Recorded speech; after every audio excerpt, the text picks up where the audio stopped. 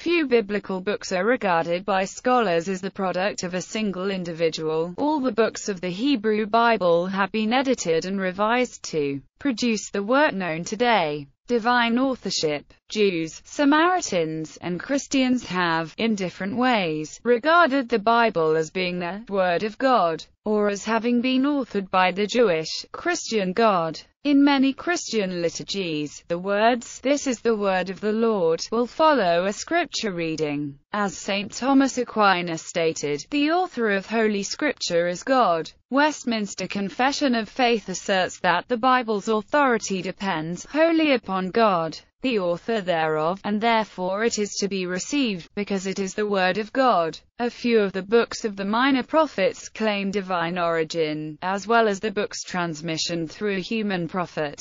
Hosea chapter 1 verse 1 has, the word of the Lord that came to Hosea son of Beeri, while Joel, Micah and Zephaniah all commence in a similar fashion. James L. Mays suggests that it was the theological understanding of the final redactor that the book as a whole is the word of Yahweh. There is some debate as to how the word of God may have been transmitted to the authors. The usual position held in modern Christian theology is that the Word was inspired by God, while there are some who believe that God verbally dictated the Word to those who recorded it. Many evangelicals in particular appeal to 2 Timothy chapter 3 verse 16 as indicating the Bible's divine authorship. In the ESV translation, this reads, All scripture is breathed out by God, while the NIV renders it, All scripture is God-breathed. Robert L. Reymond argues that Paul was asserting the divine origin of the entirety of scripture, although Paul was specifically referring to the Old Testament. Hebrew Bible The Hebrew Bible, or Tanakh, is the collection of scriptures making up the Bible used by Judaism. The order used here follows the divisions used in Jewish Bibles. Torah The first division of the Jewish Bible is the Torah, meaning, instruction, or law. In scholarly literature it is frequently called by its Greek name, the Pentateuch. It is the group of five books made up of Genesis, Exodus, Leviticus, Numbers and Deuteronomy and stands first in all versions of the Christian Old Testament. According to rabbinic tradition the five books of the Torah were written by Moses, with the exception of the last eight verses of Deuteronomy which describe his death. Today, the majority of scholars agree that the Pentateuch does not have a single author, and that its composition took place over centuries.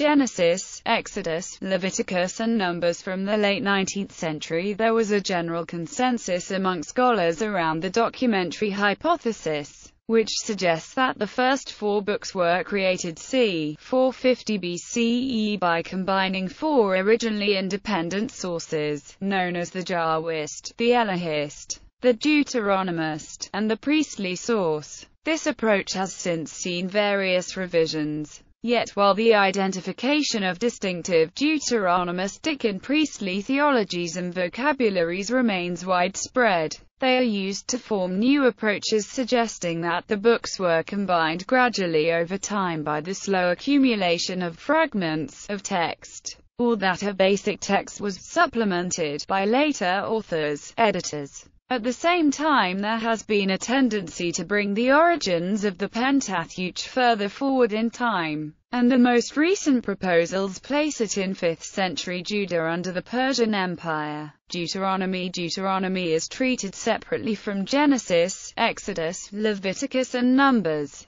Its place in the documentary hypothesis is anomalous, as it, unlike the other four, consists of a single source. The process of its formation probably took several hundred years, from the 8th century to the 6th, and its authors have been variously identified as prophetic circles, Levitical priestly circles, and wisdom and scribal circles. Deuteronomy was later used as the introduction to the comprehensive history of Israel written in the early part of the 6th century and later still it was detached from the history and used to round off the Pentateuch. Prophets Former prophets The former prophets make up the first part of the second division of the Hebrew Bible, the Nevi'im, which translates as prophets. In Christian Bibles the Book of Ruth, which belongs in the final section of the Hebrew Bible, is inserted between Judges and Samuel. According to Jewish tradition dating from at least the 2nd century CE, the Book of Joshua was by Joshua. The Book of Judges and the books of Samuel were by the prophet Samuel, while the two books of Kings were by Jeremiah. Since 1943 most scholars have accepted Martin Noth's argument that Deuteronomy, Joshua, Judges, Samuel and Kings make up a single work. The so-called Deuteronomistic history, Noth believed that the history was the work of a single author writing in the time of the Babylonian exile. This author, editor took as his starting point an early version of the Book of Deuteronomy, which had already been composed during the reign of Josiah, selecting, editing and composing it to produce a coherent work. Frank Moore Cross later proposed that an earlier version of the history was composed in Jerusalem in Josiah's time. This first version, DTR 1, was then revised and expanded to create Noth's second edition, or DTR 2.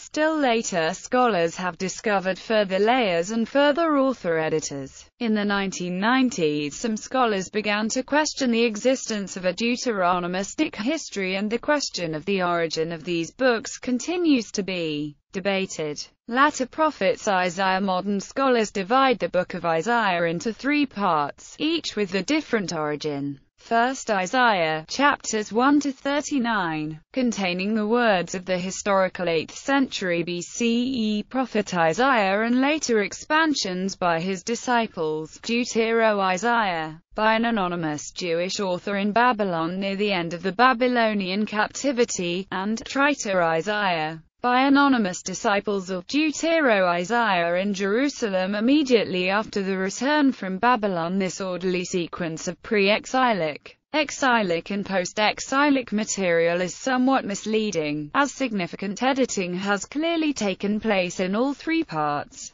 Jeremiah Jeremiah lived in the late 7th and early 6th centuries BCE. The Book of Jeremiah presents Baruch ben Neriah as the prophet's companion who writes his words on several occasions, and there has accordingly been much speculation that Baruch could have composed an early edition of the book. In the early 20th century Sigmund Mowinckel identified three types of material in the book, Jeremiah chapters 1 to 25 being the words of Jeremiah himself the biographic prose material by an admirer writing c. 580-480 BCE, and the remainder from later periods. There has been considerable debate over Mowinckel's ideas, notably the extent of the Jeremiah material and the role of Baruch who may have been the author of the Type B material. It is generally agreed that the book has strong connections with the Deuteronomistic layers from the former prophets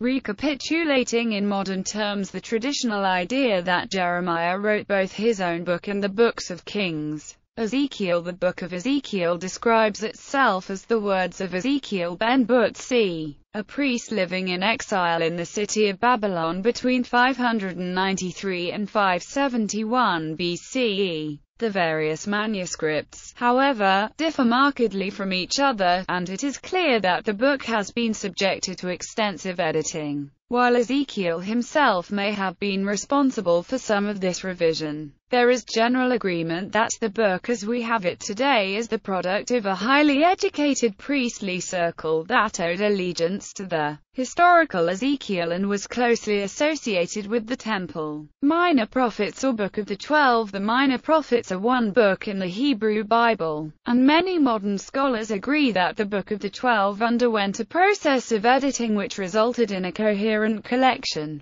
This process is believed to have reached its final form in the Persian period, although there is disagreement over whether this was early or late. For the individual books, Scholars usually assume that there exists an original core of prophetic tradition which can be attributed to the figure after whom the book is named. The noteworthy exception is the Book of Jonah, an anonymous work containing no prophetic oracles, probably composed in the Hellenistic period. Writing Psalms While a number of the Psalms bear headings which seem to identify their authors, These are probably the result of the need to find a significant identification in tradition. The individual psalms come from widely different periods. Some presuppose a reigning king in an established cult in the temple, others clearly presuppose and mention the events of the exile. Job the unknown author of the Book of Job is unlikely to have written earlier than the 6th century BCE, and the cumulative evidence suggests a post-exilic date.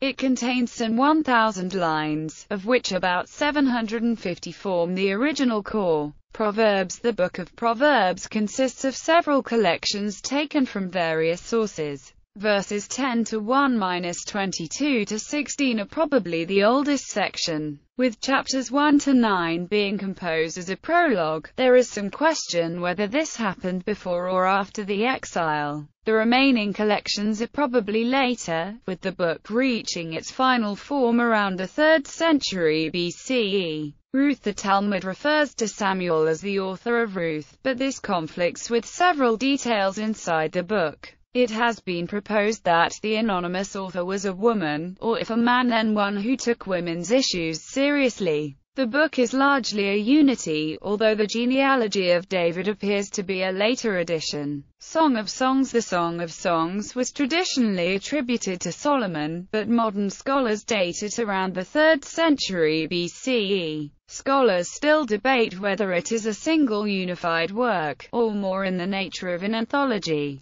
Koheleth, Ecclesiastes The Book of Ecclesiastes is usually dated to the mid-3rd century BCE. A provenance in Jerusalem is considered likely. The book's claim of Solomon as author is a literary fiction. The author also identifies himself as Koheleth, a word of obscure meaning which critics have understood variously as a personal name, a nom de plume, an acronym, and a function, a final self-identification as as shepherd, a title usually implying royalty. Lamentations Lamentations is assigned by tradition to the prophet Jeremiah. Linguistic and theological evidence point to its origin as a distinct book in the 3rd or 2nd century BCE, with the contents having their origin in special mourning observances in exilic and post-exilic Jewish communities. Esther The Book of Esther was composed in the late 4th or early 3rd century BC among the Jews of the Eastern Diaspora. The genre of the book is the novella or short story, and it draws on the themes of wisdom literature. Its sources are still unresolved. Daniel The Book of Daniel presents itself as the work of a prophet named Daniel who lived during the 6th century BCE. The overwhelming majority of modern scholars date it to the 2nd century BCE. The author, writing in the time of the Maccabees to assure his fellow Jews that their persecution by the Syrians would come to an end and see him victorious, seems to have constructed his book around the legendary Daniel mentioned in Ezekiel, a figure ranked with Noah and Job for his wisdom and righteousness.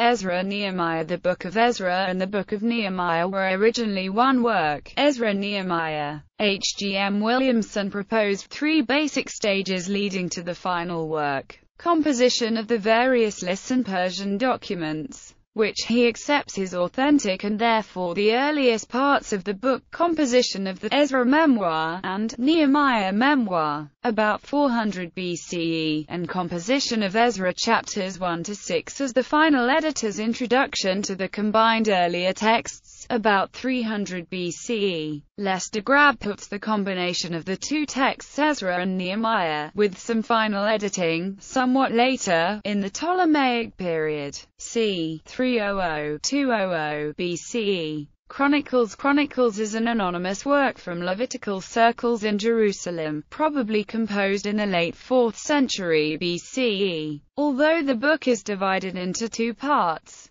the majority of studies propose a single underlying text with lengthy later additions and amendments to underline certain interests such as the cult, or the priesthood. Deuterocanonicals, Biblical Apocrypha. Additions to Daniel The Greek text of the Book of Daniel contains additions not found in the Hebrew, Aramaic version. All are anonymous. The Prayer of Azariah was probably composed around 169 eighths to 165 quarters, when Antiochus IV was oppressing the Jews. The Song of the Three Holy Children may have been composed by priestly circles in Jerusalem. Susanna may have been composed around 170-130 BCE in the context of the Hellenization struggle. Bel and the Dragon is difficult to date, but the late 6th century is possible. 1 and 2 Esdras Jerome's translation of the Bible into Latin contained four books of Esdras. Jerome's 1 and 2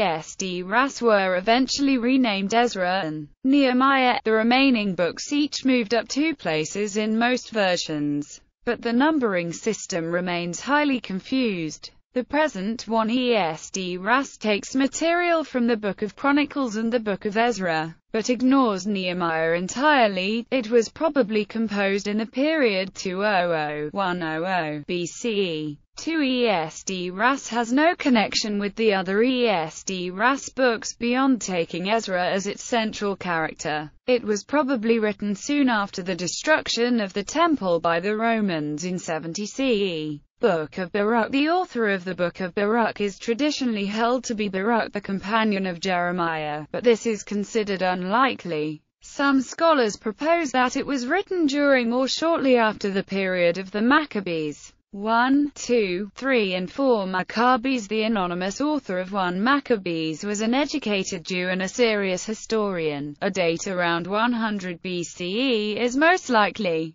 2 Maccabees is a revised and condensed version of a work by an otherwise unknown author called Jason of Cyrene, plus passages by the anonymous editor who made the condensation. Jason most probably wrote in the mid to late 2nd century BCE, and the epitomist before 63 BCE. 3 Maccabees concerns itself with the Jewish community in Egypt a half-century before the revolt, suggesting that the author was an Egyptian Jew, and probably a native of Alexandria. A date of c. 10075 BCE is very probable, for Maccabees was probably composed in the middle half of the 1st century CE, by a Jew living in Syria or Asia Minor. Letter of Jeremiah The letter of Jeremiah is not by Jeremiah. The author apparently appropriated the name of the prophet to lend authority to his composition, nor is it by Jeremiah's secretary Baruch, although it appears as the last chapter of Baruch in the Catholic Bible and the KJV. Internal evidence points to a date around 317 BCE, with the author possibly a Jew in Palestine addressing Jews of the diaspora. Prayer of Manasseh The prayer of Manasseh presents itself as a prayer from the wicked, but now penitent, King Manasseh from his exile in Babylon. The actual author is unknown, and the date of composition is probably the 2nd or 1st centuries BCE. Wisdom of Sirach and the Book of Wisdom Sirach names its author as Jesus ben Sirach. He was probably a scribe, offering instruction to the youth of Jerusalem. His grandson's preface to the Greek translation helps date the works of the first quarter of the 2nd century BCE probably between 196 BC and the beginning of the oppression of the Jews by Antiochus IV, who reigned 175-164 BCE. The wisdom of Solomon is unlikely to be earlier than the 2nd century BCE, and probably dates from 100-50 BCE. Its self-attribution to Solomon was questioned even in the medieval period, and it shows affinities with the Egyptian Jewish community and with Pharisee teachings. Additions to Esther The Book of Esther itself was composed probably around 400 BCE by Jews living in the eastern provinces of the Persian Empire and reached its final form by the 2nd century BCE. Concerns over the legitimacy of certain passages in the Hebrew text led to the identification of the additions to Esther in the Greek translation of Esther of the late 2nd or early 1st century BCE.